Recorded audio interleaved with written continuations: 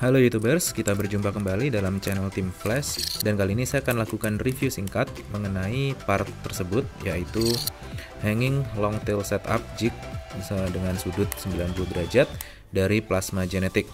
Nah, uh, saya mendapatkan item ini beberapa waktu lalu. Nah, di sini ada engraving uh, logo channel saya dan logo saya. Terima kasih untuk Plasma Genetic uh, atas support partnya. Uh, perlu diketahui saya tidak menerima imbalan apa pun untuk melakukan review ini, jadi saya akan tetap lakukan review ini secara objektif mengenai bagaimana produk ini uh, bisa berguna untuk kita pakai pada uh, Mini 4WD. Oke, kita langsung buka.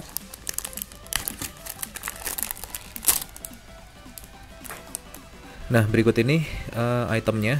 Jadi, jika kita lihat di sini, tebalan dari part tersebut kira-kira sekitar 4 mili dan pada saat salah satu bagian sisinya ini memiliki ketebalan 2 mm. Jadi tebal keseluruhan adalah 4 mm. Nah, pada bagian tengah ini bisa digeser-geser seperti ini. Oke. Di sini kita bisa lihat ada slot untuk uh, ngepasin uh, mur atau lock nut pada bagian ini. Ini fungsinya sebenarnya adalah uh, untuk panduan agar kita dapat lebih mudah uh, melakukan setting long tail dan juga hanging pada uh, FRP yang sedang kita rakit. Jadi uh, jika dilihat di sini saya sudah memiliki hanging lama yang sudah tidak terpakai seperti ini misalnya nah fungsi dari item ini adalah untuk panduan agar kita memasangkan hanging tersebut secara lurus. Seperti ini misalnya.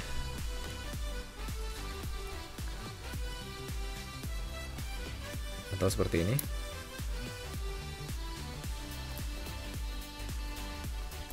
Nah jadi uh, di sini ada ada jarak antara lapisan atas dan bawah.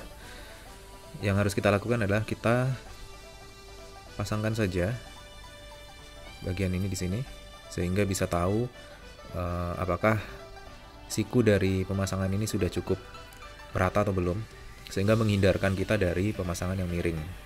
Misalkan uh, eh, FRP dari bagian atas ini miring ke kiri atau ke kanan sehingga pemasangan secara keseluruhan tidak presisi. Nah, fungsi dari bagian yang bisa di slide ini adalah sama yaitu untuk memudahkan pengukuran secara keseluruhan seperti ini misalnya. Ini saya posisikan di sini. Jadi bagian cekung ini merupakan bagian di mana uh, mur yang kita pasangkan pada hanging ini menempel. Nah, bisa dilihat di sini sudah jelas saya bikin hanging ini tanpa bantuan alat ini, sudah lama sekali dan ini bekas. Bisa dilihat bahwa di sini terjadi uh, pemasangan yang tidak presisi. Jadi bisa dilihat baut ini dan ini memiliki posisi yang berbeda. Jika dilihat pada jarak cekungannya cukup berbeda. Ini juga bisa kita geser untuk memastikan dua FRP ini uh, lurus atau sejajar atau sama rata. Nah, jika kita balik lalu uh, lubang heksagonalnya ini kita pasangkan kita paskan pada uh, jatuhnya posisi baut yang terpasang pada hanging, kita bisa gunakan ini sebagai acuan untuk uh, mengecek apakah pemasangannya sudah lurus atau belum. Jadi uh, bagian yang menonjol ini kita masukkan pada celah-celah hanging seperti ini.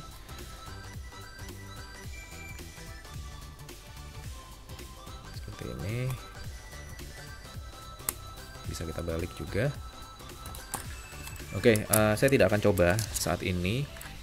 Saya akan lakukan uh, demo pemasangan pada saat melanjutkan membangun uh, mobil MS saya yang saya gunakan untuk uh, STO budget.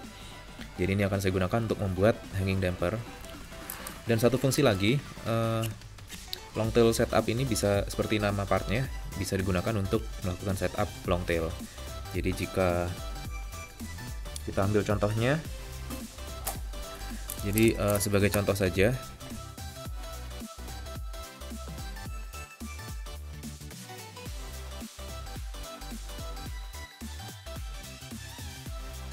Ini bisa kita gunakan untuk melakukan setup long tail.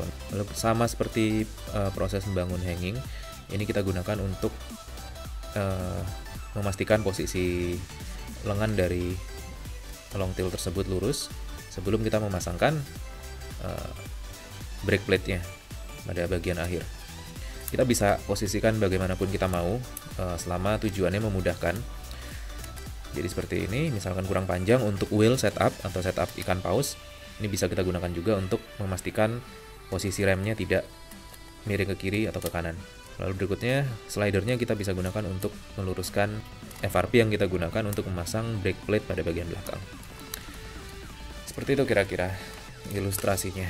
Nah, berikutnya uh, biar lebih mudah, mungkin cek video berikutnya untuk bagaimana uh, proses membangun universal stay pada uh, mobil Mini 4WD sehingga roller stay tersebut dapat kita gunakan pada uh, chassis yang berbeda-beda.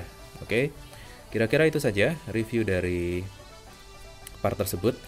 Jangan lupa subscribe dan saya akan review lagi part lainnya dari plasma genetik. Pastikan saksikan video saya lainnya dan terima kasih telah menonton. Sampai jumpa di video berikutnya. Terima kasih.